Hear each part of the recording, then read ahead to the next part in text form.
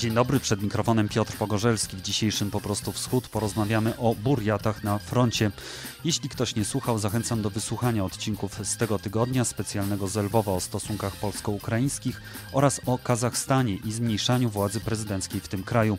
Wszystkie one mogły być zrealizowane dzięki Państwa wsparciu na Patronite i zrzutce. Dziękuję. Dziś moim gościem jest Albert Jawłowski z Instytutu Stosowanych Nauk Społecznych Uniwersytetu Warszawskiego. Dzień dobry. Dzień dobry. Porozmawiamy o burjatach walczących w rosyjskiej armii w Ukrainie. Podawane są liczby nawet 5 tysięcy. Czy rzeczywiście ich jest tak dużo, czy jest to taki mechanizm polegający na tym, że burjaci no jednak wyróżniają się na tle innych narodowości, szczególnie słowiańskich, i stąd wydaje się, że w tej armii jest ich więcej niż w rzeczywistości? Tu jest kilka, kilka, kilka kwestii w ogóle w tym pytaniu, bo po pierwsze, rzeczywiście liczbę żołnierzy z, z Buriacji szacuje się na około 5 tysięcy. Z jednej strony jest tak, że to nie jest jakaś ogromna liczba w, w zestawieniu z, całym, z całą liczbą e, żołnierzy rosyjskich na froncie, natomiast e, trzeba wziąć pod uwagę, że Buriaci to jest e, około 350 tysięcy ludzi w około 140 milionowym państwie. I ta liczba Buriatów na froncie jest nieproporcjonalnie wysoka do ich procentowego udziału w demograficznym składzie Rosji. To jest około tam 0,4% całej Rosji, to są Buriaci. Więc to już ta liczba robi się naprawdę duża.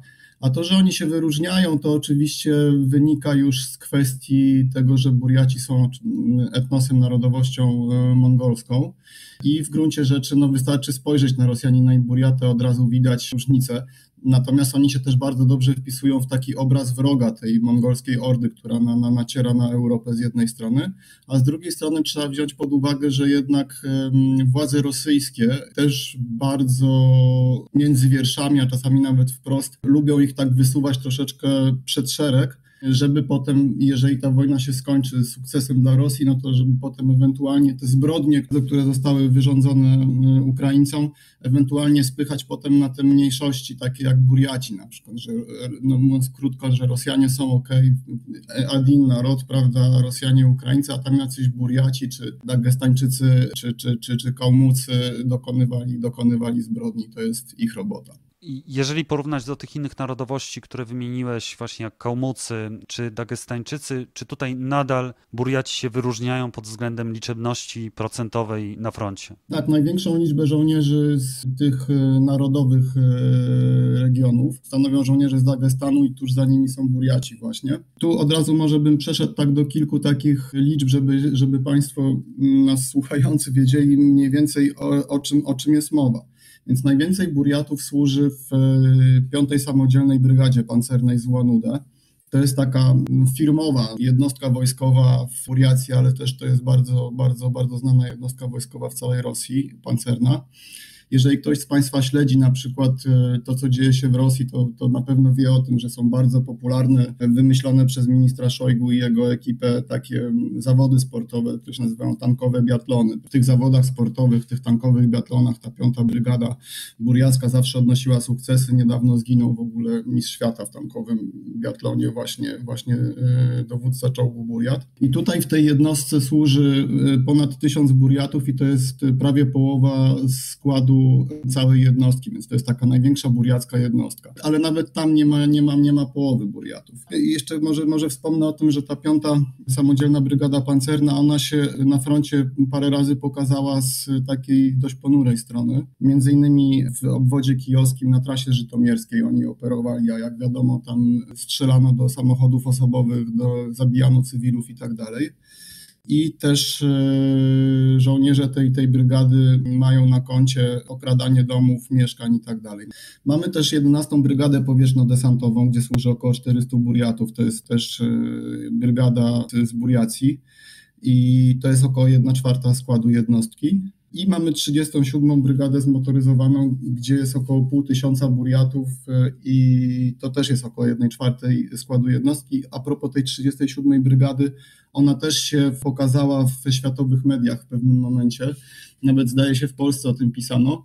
Był taki wątek w, w marcu, kiedy doszło do buntu w jednym z batalionów. To było właśnie w batalion w składzie 37 Brygady Zmotoryzowanej kiedy żołnierze odmówili wykonywania rozkazu, bo byli przekonani, że dowódca wysyła ich na pewną śmierć. Tam doszło do jakiejś przepychanki, potem tego dowódcę potrącono wozem pancernym i gąsienicami tego wozu pancernego przejechano mu po nogach. On trafił do szpitala na Białorusi i tam zmarł.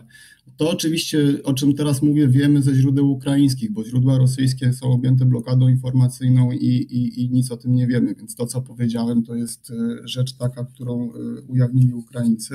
I ostatnia rzecz a propos służby właśnie tej liczebności Buriatów i udziału ich realnego w walce, to są zazwyczaj żołnierze szeregowi. Nawet w tej, jedno, w tej jednostce pancernej, której stanowią prawie połowę, jest tylko 12 buriackich oficerów. Więc to też pokazuje, w jaki sposób Buriaci są, mówiąc prost, używani do tej wojny. Że tak naprawdę to jest y, niski, niski, niski rangą personel, który jest używany do, no jako mięso armatnie, mówiąc krótko. Czy my możemy powiedzieć, że Buriaci chętnie służą w armii, dlatego że jest to biedny region, gdzie jest to właściwie, no chciałem powiedzieć jakaś ścieżka kariery, ale po tym, co powiedziałeś przed chwilą, no to wygląda na to, że ta kariera jest y, dość krótka, jednak oni trafiają na jakiś szklany sufit w tej armii. No ale może po prostu pójście do armii pozwala na przeżycie. Może o to chodzi. Tak, to często się o tym mówi. Wojsko jest y, często jedynym właśnie, y, jedyną możliwością nie tylko zrobienia kariery, ale w ogóle utrzymania się w miarę stałego dochodu, jakiejś stabilności życiowej.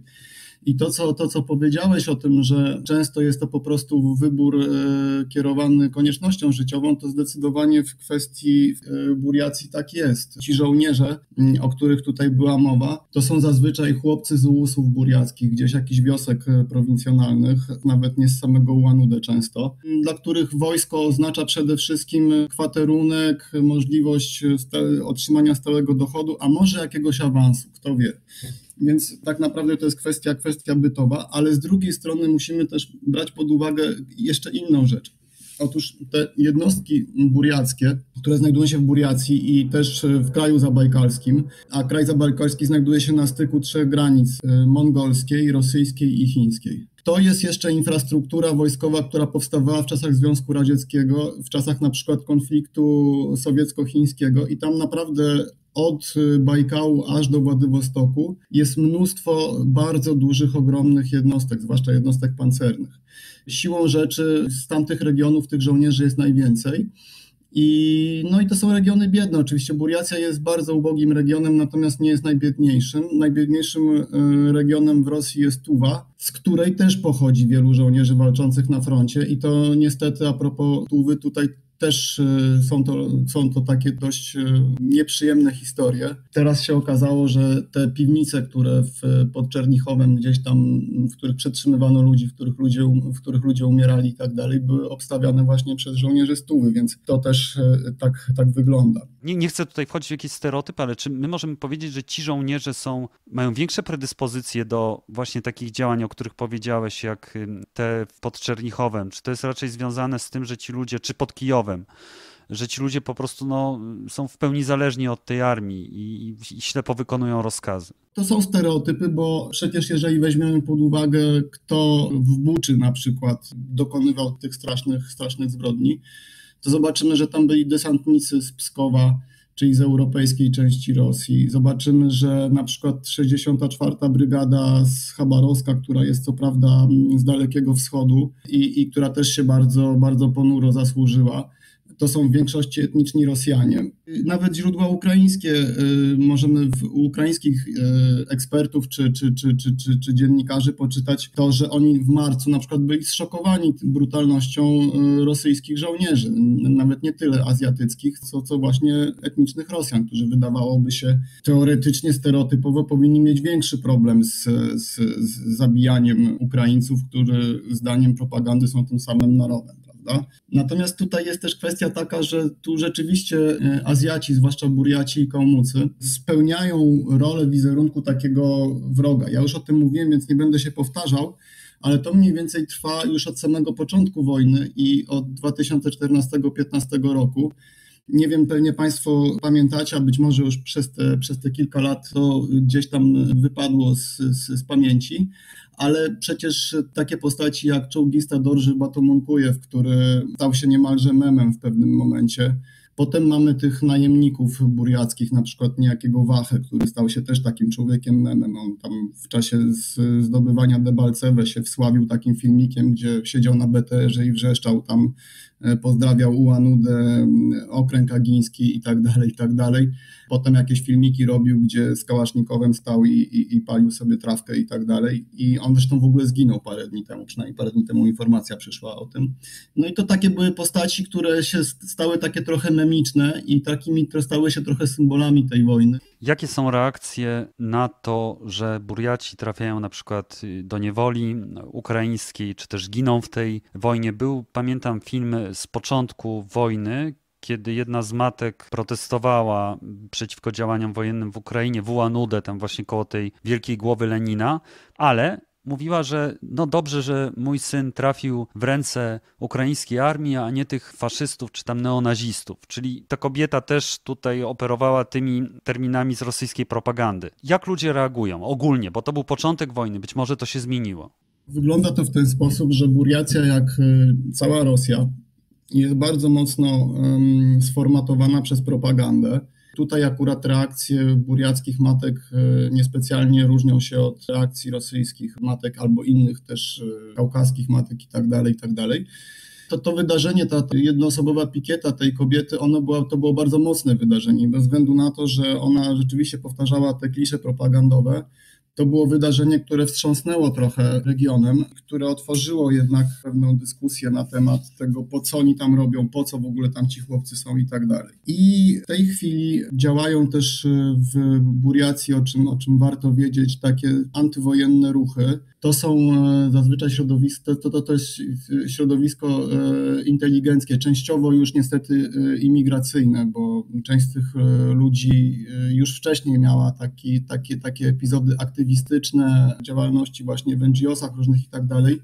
I w różnych okolicznościach z tej Rosji oni wyjeżdżali w ciągu kilku lat ostatnich. Mówię tutaj o takich inicjatywach jak Buriaci przeciwko wojnie albo Free Buriatia Foundation i to są środowiska, które w tej chwili zajmują się dokumentowaniem strat, dokumentowaniem tego, e, gdzie ci żołnierze buriaccy walczą. Zabiegają o to, żeby informacja docierała do rodzin. Przecież trzeba wziąć pod uwagę, że mnóstwo tych rodzin nie wie o tym, że e, ich bliscy czy krewni nie żyją tylko na przykład są zaginieni bez wieści, więc ogólnie rzecz biorąc ci ludzie starają się też dobijać do, do, do różnych instytucji, żeby, żeby czegokolwiek się dowiedzieć. Też doszło do kilku takich bardzo, moim zdaniem, oprócz tej jednoosobowej pikiety, o której wspomniałeś, doszło do kilku takich wydarzeń, o których warto wiedzieć, bo to nie są ludzie z pierwszych stron gazet, ale bardzo, są to ludzie bardzo odważni i, i, i warto o nich pamiętać. Na przykład niejaka Nadjeżda Nizowkina z, z Ułanudę, która miała odwagę wezwać naczelnika Republiki Buriacja Cydenowa mm, do tego, żeby zrobił coś wreszcie w kwestii żołnierzy buriackich, żeby cofnął ich z frontu a potem wręcz powiedziała, że Buriacja ma prawo na samookreślenie się i Buriaci nie powinni ginąć w wojnie, która kompletnie im do niczego nie jest potrzebna i jest kompletnie bez sensu. I więc ona dostała grzywnę, potem dostała e, wyrok więzienia. Jest też sprawa e, Jeleny Bagajewej, nauczycielki angielskiego, która za to, że z e, uczniami jednej ze szkół w Buriacji rozpoczęła rozmowę na temat sensu tej wojny, dość lajtowo moim zdaniem zaczęła rozmawiać rozmawiać o tym, że no, każda wojna jest zła i że w zasadzie to należy się zastanowić, co w ogóle rosyjska armia, w tym również Buriaci, robią w ogóle na tej wojnie, po co tam pojechali. Na tę kobietę złożono donos i w związku z prawem i, i paragrafem, to się nazywa za, za dyskredytację sił zbrojnych, dostała grzywny i wyleciała z pracy. My się możemy oczywiście wzruszyć ramionami, no nie jest to wielkie halo. Grzywnę zapłaci, pracę sobie znajdzie nową. Otóż jest to e, poważny problem, bo ta kobieta została skazana na śmierć e, zawodową jest w tej chwili pod dużą presją. W zasadzie nie wiadomo, co będzie za chwilę. No, te represje wobec ludzi, którzy starają się e, coś e, robić i, i są odważni, się nasilają a z drugiej strony mało się o tych ludziach mówi, no bo dyskutujemy raczej o, nie wiem, Marinie Owsiannikowej, która przez 8 lat była propagandystką i w końcu zdecydowała się na protest i teraz jeździ po Europie i wszyscy dyskutują, czy to dobrze, że jeździ, czy niedobrze. Tymczasem są też ludzie w głębi Rosji, daleko gdzieś w Buriacji na przykład, którzy zachowują się bardzo odważnie i których ten system miażdży w tej chwili. Chciałbym, żeby też ci ludzie, którzy, którzy nie są tymi frontmenami medialnymi, też żebyśmy o nich nie zapominali to jest oczywiście istotne, ale tutaj trochę wspomniałeś o tym, na ile silne są takie głosy, że może Buriacji nie jest po drodze z Rosją. No, Ukraińcy bardzo lubią takie wizje przedstawiać właśnie rozpadu Rosji w wyniku osłabienia centralnej władzy. Czy takie głosy są realnie podnoszone właśnie w Buriacji, że może nam by było lepiej bez, bez Rosji? Nie liczyłbym na to, że Buriacja wyjdzie ze składu Rosji i nie liczyłbym na jakiś buriacki separatyzm.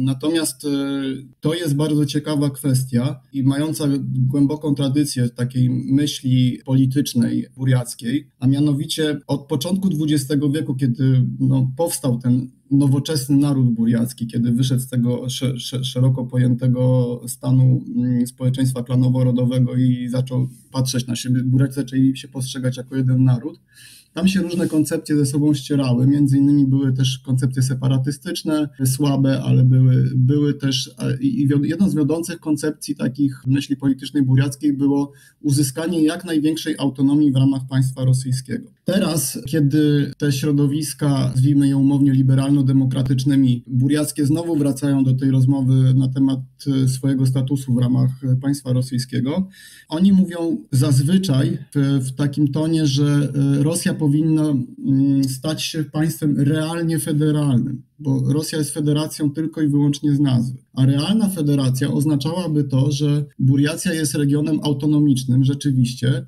że ma oczywiście połączenie jakieś administracyjne i, i, instytucjonalne z Moskwą, natomiast najważniejsze decyzje są podejmowane na miejscu. To jest coś w rodzaju takiego konceptu Stanów Zjednoczonych Eurazji czy Stanów Zjednoczonych Syberii, coś takiego w ramach państwa rosyjskiego, więc oni są realistami. No tam separatystów też, jakbym się, jakbyśmy się postarali, to tam chyba na, na palcach jednej ręki można byłoby policzyć, ale to jest raczej margines. Natomiast e, to jest koncepcja szerokiej autonomii w ramach państwa rosyjskiego i zmiany państwa rosyjskiego w realną federację, czyli w e, coś na wzór wręcz Stanów Zjednoczonych. No ja przypuszczam, że takie tendencje są wśród przedstawicieli innych narodów Rosji. Oni się próbują sieciować zresztą z, z, innymi środowiskami. No niestety w tej chwili to wygląda tak, że to głównie jest środowisko emigranckie w tym momencie, a na miejscu ludzie raczej milczą. No dlatego, że mamy do czynienia z państwem no niemal totalitarnym, a na pewno autorytarnym. Tak, no, no, wspomnę tutaj o właśnie Jelenie Bagajewej, tej nauczycielce, która